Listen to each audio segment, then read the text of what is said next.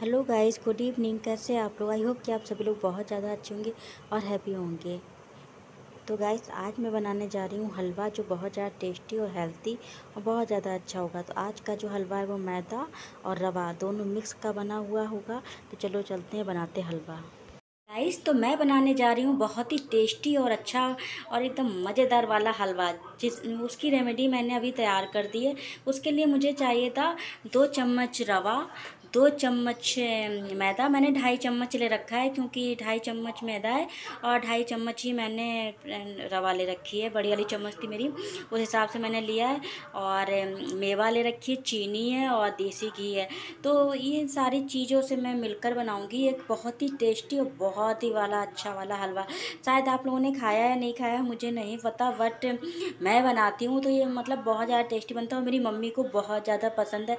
Actually क्या है ना कि मेरी मम्मी जो थी वो बोल रही थी कि हलवा बना दो और दीदी घर पे नहीं है तो मैंने कहा, चलो ठीक है, मैं ही बना देती हूँ। तो मैं और दी, मम्मी बस दो ही लोग हलवा खाएँगे, इसलिए मैंने चीज़ों को थोड़ा ही थोड़ा लिया है, क्योंकि ज़्यादा हो जाता है तो फिर कोई खाने वाला नहीं था ना, इसलिए इतने में ही देखना अभी कितना बन जाएगा ये। तो ये काफ़ी ज़्यादा टेस्टी और बहुत मतलब हेल्थी भी है, कुछ इसमें ऐसी चीज़ें नहीं पड़ी हैं जिससे कि नुकसान करे या कुछ हो। और ये मेवा है तो इसमें मेवा भी डालेंगे और चीनी है, और मतलब मैंने जितनी भी क्वान्टिटी चीज़ें ली हैं ना, वो सब बराबर से ली हैं, क्योंकि इसमें कोई भी चीज़ ज़्यादा या कम नहीं डालनी होगी। इसमें हर चीज़ को बराबर से डालना होगा। तो मैंने दो चम, ढाई चम्मच मैदा ली तो ढाई चम्मच ही मैंने रवा लिए। और ढाई चम्मच मैंने चीनी ली और ढाई चम्मच ही मैंने देसी घी लिया है। और मेवा मैं अंदाज से ही डाल दे रही हूँ मतलब उसका क्या मैं ढाई चम्मच से गिनूँगी तो वो मैं अंदाज से ही ले ले रही हूँ, क्योंकि मेवा तो वैसे भी टेस्टी लगती है। मतलब इन जो चार चीज़ें ना, इनको पूरा बराबर से ही रखना होगा। अगर इनको बराबर से रखेंगे तभी ये मतलब कि सही बनेगा। अगर हम किसी भी चीज़ को ज़्यादा या कम कर देंगे तो उसका टेस्ट बिगड़ जाता है, क्योंकि और चीज़ों में हम कोई चीज़ डाल देते तो ज़्यादा कम हो जाती है। बट ये जब मैदा और रवा दोनों को मिक्स करके जब हलवा बनता है ना तो इन, इसमें सारी चीज़ें बराबर से रखनी पड़ती हैं। कोई भी चीज़ ज़्यादा कम नहीं रखनी होती। अगर आप ज़्यादा लोगों के लिए बना रहे हैं तो आप अपने हिसाब से मतलब उस चीज़ को अंदाज़ लगा लीजिए कि हमें इतने लोगों के लिए बनाना है और हमें इतना बन चाहिए। उसी हिसाब से हम अपनी चीज़ों को डाल देंगे कि हमें दो मतलब कि अगर हमको ज़्यादा लोग हैं, हमारे घर में दस बारह लोग हैं तो हम एक एक कटोरी के हिसाब से चीज़ ले लेंगे। अगर हमारे घर में तीन चार लोग हैं तो हम लोग आधी आधी कटोरी के हिसाब से ले लेंगे।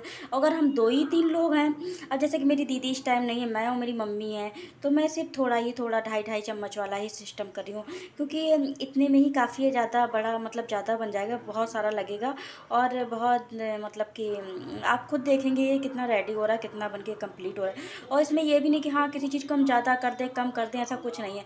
इसमें सब चीज़ें बराबर चलेंगी, इक्वल चलेंगे, ठीक है? तो मैं अभी आपको फटाफट से बना के दिखाती हूँ।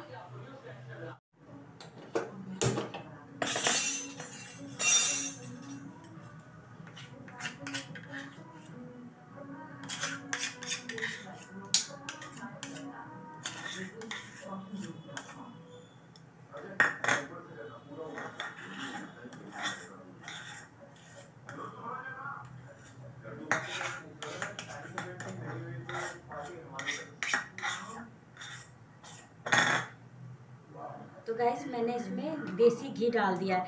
आप लोग चाहें तो इसमें कोई भी घी यूज़ कर सकते हैं। मैं देसी घी का ही यूज़ कर रही हूँ, क्योंकि देसी घी में ज़्यादा टेस्टी और अच्छा बनता है। और वैसे आप लोग जैसा भी चाहें, वैसा डाल सकते हैं अपना।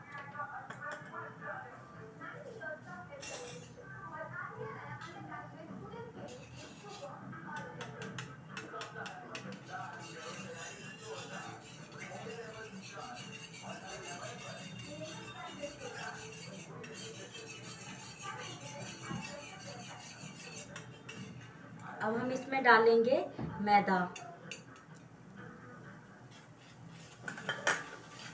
और इसमें डालेंगे रवा। और इसे हमें अभी 10 मिनट तक ऐसे ही चलाना है। और गैस को थोड़ा सा स्लो कर देना है, क्योंकि ज़्यादा गैस मतलब कि फुल पे नहीं रखना है। बीच का रखें या फिर थोड़ा सा स्लो कर दें। उस हिसाब से। और ये देखिए, ये इस तरीके से अभी पतला हो गया है क्योंकि ये अभी थोड़ा सा इसे मैंने डाला है और ये थोड़ा सा ऐसे करके चलाएँगे।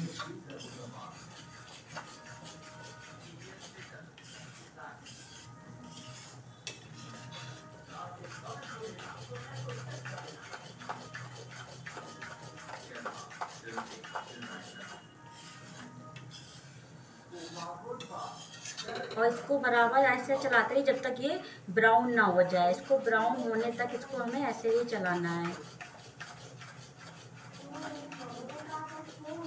और जब ये ब्राउन हो जाएगा तो इसका कलर भी चेंज हो जाएगा और ये काफ़ी ज़्यादा टेस्टी और बहुत अच्छा बनेगा।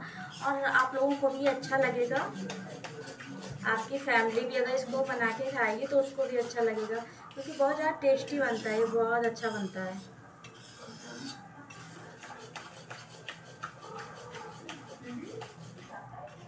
ये देखिए, इसका थोड़ा थोड़ा सा कलर चेंज हो रहा है, मैं आपको दिखा रही हूँ।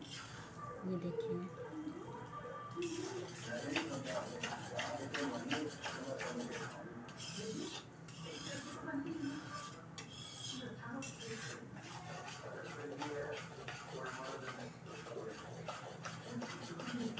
एक्चुअली गाइस मेरे पास ट्राईपोर्ड नहीं है तो मुझे ना ऐसे ही थोड़ा सा रख लिया है मैंने अपने, थोड़ा स्टैंड बना के। एक्चुअली अभी मैंने ख़रीदा नहीं है ट्राईपोर्ड क्योंकि मेरा वीडियोस वगैरह अभी कोई इतना ज़्यादा कुछ हो नहीं रहा है ना तो पैसे वगैरह फंसा दो और अभी कुछ लेने का कुछ वही हिसाब ही नहीं बन रहा है। तो मैंने सोचा कि चलो ऐसे ही काम चला लेते हैं। और इसीलिए मैं ऐसे ही थोड़ा सा दिखा रही हूँ तो प्लीज़ डोंट माइंड आप लोग इस चीज़ को मत लीजिएगा। मैं दिखाने की पूरी कोशिश करती हूँ, बनाने की करती हूँ। एक्चुअली जब मैं एक हाथ से पकड़ लेती हूँ तो दूसरे हाथ से मुझे चीज़ें में डालने में, दिखाने में थोड़ी सी दिक्कत हो जाती है। इसकी वजह से मैंने आज थोड़ा सा इसको ऐसे स्टैंड करके रख दिया है, जिससे कि मैं चीज़ें डालती भी जाऊँ और आपको दिखाती भी जाऊँ। तो प्लीज़ आप लोग इस लोगों, इस चीज़ को माइंड मत करिएगा। और, देखो, मैं कोशिश करूँगी कि मैं जल्दी ही खरीद लूँ। एक्चुअली लोग मुझे ऐसे ही सपोर्ट करिएगा। और मैं, देखो, जल्दी ही ले लूँगी। फ़िलहाल अभी तो नहीं, पर हाँ जल्दी ही लूँगी। क्योंकि अभी मैं चल नहीं पाती हूँ। और मुझे दिक्कत भी होती है। चलने में, बाहर जाने में इसलिए और भी नहीं। तो फिर देखते हैं कभी लेंगे। तो देखिए गाइस ये हमारा देखिए कितना चेंज हो गया है ब्राउन सा हो गया ये देखिए, मैं आपको इतना पास से दिखा रही हूँ। अब हम इसमें डालेंगे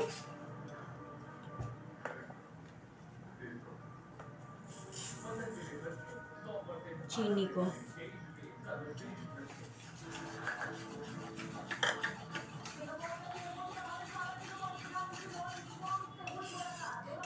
हमको पानी की कोई खास ज़रूरत नहीं है, बस थोड़ा सा सिर्फ़ डालना होगा।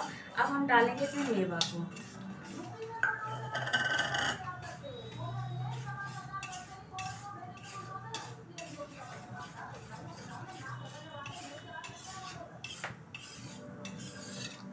अब इसको मेवा में हमने ऐसे डाल दिया, ये देखिए मेवा वगैरह पड़ चुकी है, देखिए।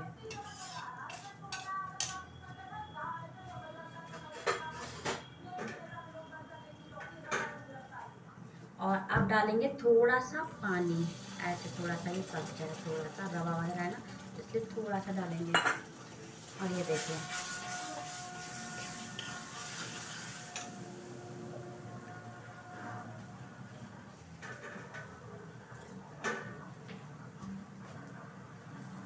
थोड़ा सा और डाल दे रही हूँ, जिससे कि ये मैदा और रवा है ना तो इसलिए थोड़ा सा ये अच्छे से वो हो जाएगा।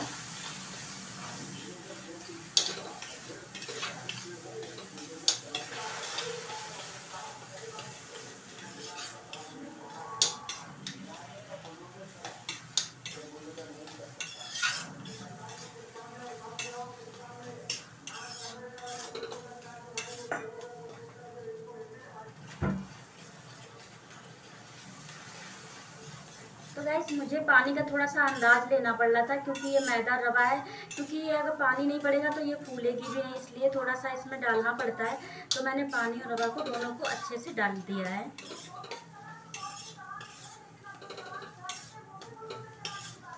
और ये देखिए कितना मतलब मैं, आप देखना, मैंने इतना थोड़ी सी चीज़ें डाली थी और फिर भी देखिए कितना ये बन के रेडी हुआ है।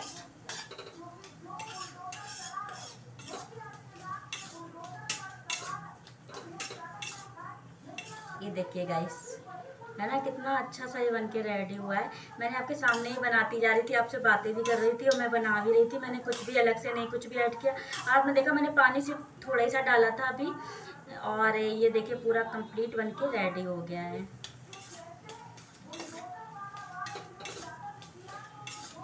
और इसमें हमें बस थोड़ी इसकी क्वांटिटी जो होती है ना, वो हमें सिर्फ़ ध्यान में रखनी होती है। कि वो हमको कितना रखना है बस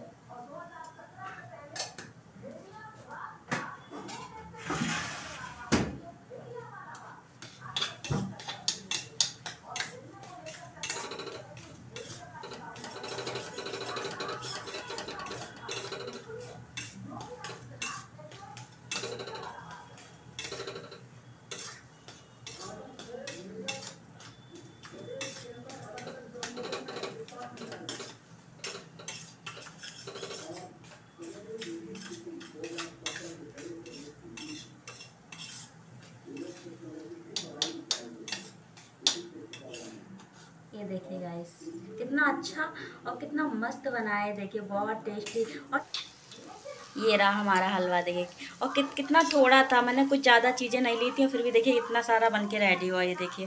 मैं आपको बहुत बारीक और पास से दिखाने की कोशिश कर रही हूँ, जिससे आपको समझ में आ जाए ये कैसे बना था और क्या क्या चीज़ों से बना है।